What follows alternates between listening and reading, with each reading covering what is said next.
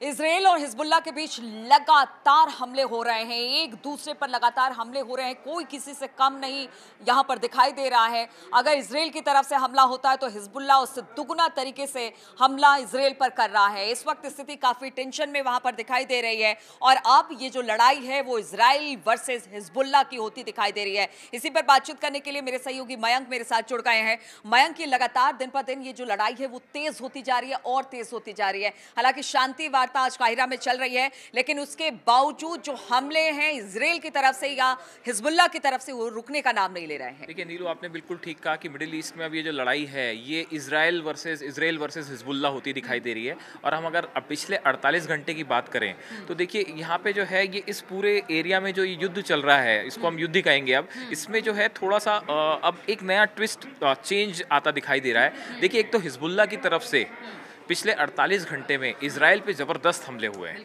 मतलब 10 ठिकाने हम मान लीजिए उत्तरी इसराइल के जो हैं इनको बिल्कुल टारगेट करके अटैक किया गया। हिजबुल्ला की तरफ़ से ड्रोन अटैक हुए जो इसराइल के मिलिट्री बेस हैं उनके ऊपर ड्रोन हमले किए गए। रॉकेट से अटैक हुए हैं जो रिहायशी इलाके हैं बताया जा रहा है कि यहाँ पर रॉकेट से हमले हुए जितना ज़्यादा से ज़्यादा नुकसान यहाँ पर किया जाए वो कर रहा है बिल्कुल हिजबुल्ला की तरफ़ से देखिए नसरल्ला जो है हिजबुल्ला के चीफ जो है तो ऐसा लगता है मानो कि अभी ईरान जो है वो एक कदम पीछे है और ये लड़ाई जो है ये हिजबुल्ला वर्सेस जो है इसराइल हो गया। और पिछले 48 घंटे में तो जितनी ज़बरदस्त अटैक इसराइल के ऊपर हुए हैं उसके बाद ऐसा लगता है कि अब इस पूरे एरिया में खासकर लेबनन में कुछ बड़ा होने जा रहा है। देखिए शायद इसकी ही वजह ये है कि चीन ने अमेरिका ने और भारत समेत कई देशों ने लेबनन से अपने जो लेबनन में उनके देश के नागरिक हैं, उनको या तो लेबनन छोड़ने की सलाह दी है और या फिर बेहद सतर्क रहने की सलाह दी है। इसकी वजह यह है कि देखिए इसराइल की तरफ़ से ऐसा माना जा रहा है कि इसराइल जो है, वो कोई बड़ा हमला कर सकता है लेबनान के ऊपर। और दूसरी तरफ़ हिजबुल्ला के जो लड़ाके हैं, वो इसराइल पे जो है, अब बिल्कुल ऐसा लग रहा है कि उन्होंने तय कर लिया है कि अब जो है, बड़ा हमला लगातार करना है। तो एक तरफ़ तो ड्रोन से हमले हो रहे हैं, रॉकेट से हमले हो रहे हैं, दूसरी तरफ़ फिदाइन अटैक भी इसराइल पे हो रहे हैं। तो ऐसा लगता है कि हिजबुल्ला जो है, वो अब इसमें सबसे बड़ी भूमिका जो है वो हिजबुल्ला की तरफ़ से निभाया जा रहा है कि अटैक करने की। अच्छा दूसरी एक चीज़ जो है हुती भी जो है वो लाल सागर में उसने अभी एक टैंकर में आग लगा दी है। टैंकर को ऑयल टैंकर को तबाह कर दिया है। तो लाल सागर में जो है हुती एक तरफ़ से परेशान कर किए हुए है। और हमास जो है वो तो गजा में जो हो रहा है वो हमास तो अपनी तरफ़ से उसको काउंटर कर ही रहा है। तो आप देखिए इसराइल पे ती, तीन तरफ़ से जो है वो एक साथ अटैक हो रहे हैं। अब इसका परिणाम क्या? अब सवाल ये भी है कि ये भी कहा जा रहा है कि इन हमलों से परेशान होकर इसराइल जो है वो लेबनान में अगला टारगेट जो है वो लेबनान में हिजबुल्ला के जो अड्डे हैं ठिकाने हैं वहाँ पे कोई बहुत बड़ा स्ट्राइक हो सकता है। और जब इस तरह की स्ट्राइक होती है तो उसमें फिर क्या होता है कि जो वहाँ के रेजिडेंशियल इलाके हैं वो भी निशाने पे आते हैं।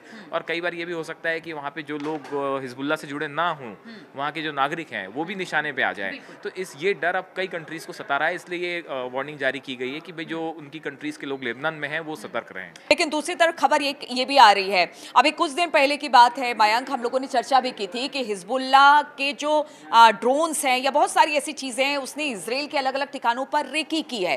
ठीक है तो क्या हम ये मान कर के चले कि अब से कुछ दिन पहले हिजबुल्ला ने जो काम किया, जो रेकी किया उसी को लेकर वो टारगेट, क्योंकि ऐसा जानकार बता रहे हैं कि उन उन ठिकानों पर, ऐसे ऐसे ठिकानों पर इसराइल के हमले हिजबुल्ला कर रहा है, जो कि किसी को नहीं पता है। यानी वो रेकी के बाद ही या बहुत सारे गुप्त चीज़ें करने के बाद ही पता चल पाती हाँ, है। ये आप ठीक कह रहे हो। देखिए ये इस पूरे वॉर में जो ड्रोन्स हैं वो बहुत अहम- भूमिका निभा रहे हैं। चाहे वो खुफिया मतलब ड्रोन हो जिनसे ताकि ये पता लगाया जा रहा है कि कौन से स्ट्रेटेजिक पोजीशंस हैं कहाँ पे मिलिट्री बेस है कहाँ हथियार हैं। तो या तो इस तरह से ड्रोन का इस्तेमाल हो रहा है और या फिर ड्रोन का इस्तेमाल वॉरहेड्स लोड करके एक्सप्लोड करने में भी किया जा रहा है। तो ड्रोन की लड़ाई जो है वो बहुत अहम हो गई है।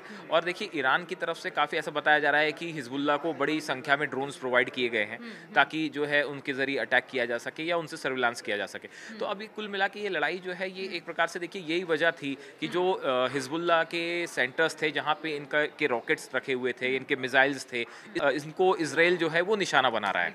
तो इसराइल की तरफ़ से कोशिश थी कि जो हिजबुल्ला के ठिकाने हैं जहाँ पे हथियार हैं उनको तबाह कर दिया जाए या जहाँ से रॉकेट्स जिन लॉन्चिंग पैड से ये रॉकेट्स फ्लाई करते हैं या ड्रोन्स फ्लाई करते हैं उनको तबाह किया जाए। तो इसराइल की स्ट्रैटेजी ये है कि हिजबुल्ला के इन ठिकानों को तबाह किया जाए। अच्छा दूसरी तरफ़ एक बड़ी घटना अभी ये हुई कि रेल ने अलक्सा शहीद ब्रिगेड के कमांडर थे खलील अल मकदाह इन पे हमला किया और इनकी बताया जा रहा है कि हमले में मौत हो गई। ये दो दिन पहले की घटना है। ये अपनी कार से लिबनन में जा रहे थे। मिज़ाइल टारगेटेड मिज़ाइल जो है वो इनकी कार के ऊपर आके गिरी और इनकी उसमें जो है मौत हो गई। अब ये जो कमांडर थे खलील अल मकदा ये ईरान की जो सेना है ये उनसे बताया जाता है कि उनसे जुड़े हुए थे और इनके ज़रिए बड़ी प्लानिंग हो रही थी इसराइल पे हमले की जिसकी मोसाद को जानकारी मिल गई और उनको जो है खलील अल मकदा जो है इन पे हमला किया गया और इनका इनकी उसमें मौत हो गई है। तो इस हमले के बाद से हिजबुल्ला जो है वो और गुस्से में है। ऐसा बताया जा रहा है कि हिजबुल्ला और ईरान जो है वो एक बार जैसे एक बड़ा हमला जो है लॉन्च फिर से हो सकता है। और ये कहा जा रहा है कि अगले 48 घंटे में हिजबुल्ला की तरफ़ से एक बार फिर या फिर ईरान की तरफ़ से भी कुछ बड़ा हो सकता है। ये आशंका एक बार फिर जताई जा रही है। बड़ा हो सकता है कुछ आगे प्लान किया जा रहा है इसराइल की तरफ़ से और हिजबुल्ला की तरफ़ से दोनों तरफ़ से। अब देखना होगा किस तरह से प्लान है लेकिन कायरा में शांति वार्ता भी चल रही है और ये कहा जा रहा है मयंक कि आज के बाद ये स्पष्ट हो जाएगा कि अब ये युद्ध रुकेगा या नहीं रुकेगा कोई बीच का रास्ता निकलेगा नहीं निकलेगा। ये आज के बाद स्पष्ट हो जाएगा। देखिए आप जो कह रहे हैं नीलू इसमें है ना एक नई चीज़ और निकल के सामने आई है कि बताया जा रहा है कि बीती रात को ईरान कैबिनेट की एक गुप्त बैठक हुई। और उस बैठक में कई बड़े अहम फैसले लिए गए हैं ऐसा कहा जा रहा है कि ईरान ने अपने जो न्यूक्लियर सेंटर्स हैं उनकी सुरक्षा अचानक बहुत ज़्यादा बढ़ा दी है अच्छा। और ये आ, आ, मतलब अंदेशा है ईरान को कि कहीं उसके न्यूक्लियर बेसिस पे जो है हमला। वो हमला ना हो जाए अब देखिए क्या है कि एक तरफ़ तो ईरान जो है वो अभी तक इसमें सीधा युद्ध में शामिल नहीं हाँ। हुआ है लेकिन दूसरी तरफ़ ईरान ने अपने जितने भी आर्मी हो चाहे एयरफोर्स हो चाहे नेवी हो सबको बिल्कुल युद्ध के मोड में अलर्ट मोड ही नहीं ऐसा लग रहा है वॉर मोड में तैयार रखा हुआ है। मतलब मिसाइल्स जो हैं। वो मिसाइल्स अपनी लोकेशंस पे तैयार हैं। अब ऐसी स्थिति में ये बड़ी एक आशंका जताई जा रही है कि जो न्यूक्लियर बेसिस हैं ईरान के ईरान उसकी सुरक्षा को लेकर बिल्कुल अलर्ट रहना चाहता है कि किसी भी तरह से उसके न्यूक्लियर प्रोग्राम को कि किसी तरह कोई खतरा ना हो।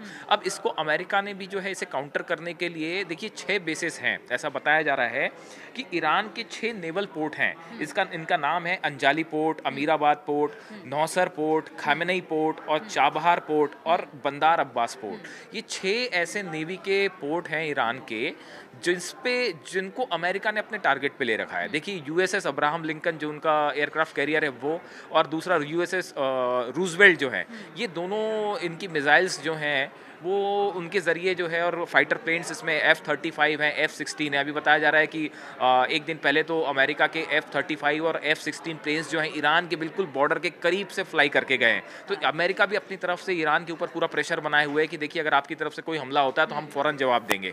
तो कहा जा रहा है कि ईरान के जो न्यूक्लियर जो ये नेवी के बेसिस हैं बेस है नेवी के, इस पर अमेरिका ने अपनी बिल्कुल सख्त पैनी नज़र बनाए रखी है कि अगर कहीं से भी कोई भी हमले जैसी आशंका बनती है, जो कि इसराइल पे होता है तो उसको तुरंत काउंटर किया जा सके। तो इस, आप देखें कि एक तरफ़ हिजबुल्ला इसराइल पर अटैक किए हुए दूसरा, ईरान को न्यूट्रल करने के लिए अमेरिका ने जो है अपने वो पूरा सैन्य साजो सामान जो है वो तैनात कर रखा है। चाहे वो इसराइल हो, ईरान हो, इन लोगों ने तैयारी कर रखी है, अपने अपने देशों के जो समर्थित देश हैं, उनको भी कह दिया गया है।